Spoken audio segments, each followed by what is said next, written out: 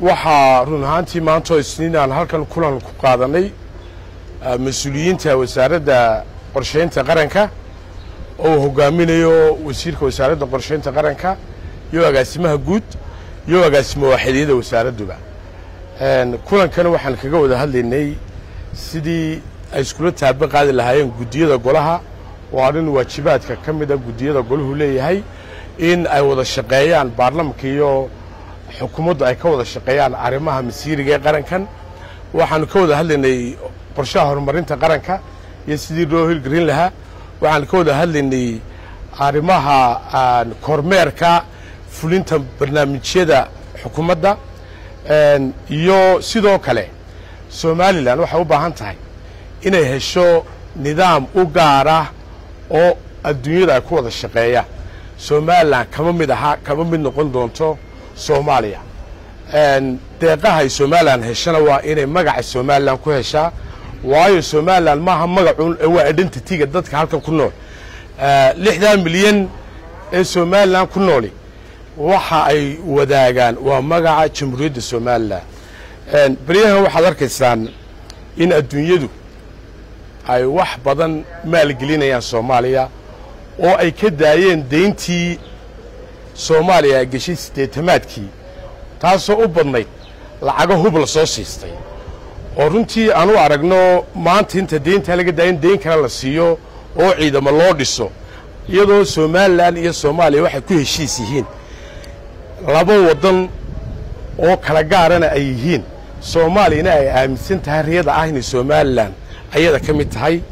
Waxaan u aragnaa untaasi in ay ku tahay caqabad xasiloonnida iyo deganaanshaha mandaqaddayn ku nool nahay. Markaad arkayso nin cadaawad kuu muujinaya waddana jaartoo cadaawad kuu muujinaya oo la hubaynayo oo deymo la siinayo deeqa la siinayo. Runtii waxaan u aragnaa inu international communitigu ay lacagta ay ku dhaamgaraynayaan billions dollarka ay ku dhaamgaraynayaan ee cashur bixiyahooga ay ka soo qaadeen ee ay soomaaliya hubka iyo saanadda iyo ciidanka ugu dhisayaan inay tahay mid mandaqadan aan wax san u soo wadin. Caqabad ku noqon doonta deganaanshaha iyo xasiloonnida mandaqadan aynu ku nool nahay. Run ahaantii somalilan shacabkeyguu isku tashaday. Waa dad nabadda jecel. Waxaynu ku jirnaa waddamada ugu horreeya dhinaca xasiloonnida marka la sheegayo.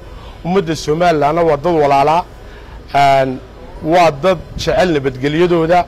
Waa qaran ku dhisan shacab jecel nabadgelyadooda iyo xasiloonnidooda innaguna dhinac baynu ga wada taagnaan doonaa. Wasiirku aad iyo aad buu mahadsan yahay. Waa saaxiibkay wasiir axmed waa nin professionaloo saacado badan baan kulan ku jirno presentationno.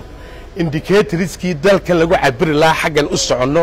Wax fara badan baan ka wada hadalay xeerarka khuseeyo guddideeda iyo wasaaraddooda ee ay tahay in kalfadhigan amba kalfadhiyada soo socda aanu ku darsanno ajandaha ayaan ka wada hadlaynay maadaama uu noo bilaabmayo kalfadhigii goluhu sidoo kalena baarlamanku ku shaqayn doono baarlament business calendar qorshe hawleed sanadkiia maxaa baarlamanka ahmiyadda uu siin doonaa? Ayuu ku shaqayn doonaa taasi oo inagaga xidhan tahay in wasaaradihii xeerarku waxaa soo ka soo shaqeeya wasaaradihii tignogaraadka lahaa ee hallow tolo fulintiisa ka shaqaynayey ayaa ka soo shaqeeya. Deetana markay ka soo shaqeeyaan bay golaha loo keenaa guddida soo martaa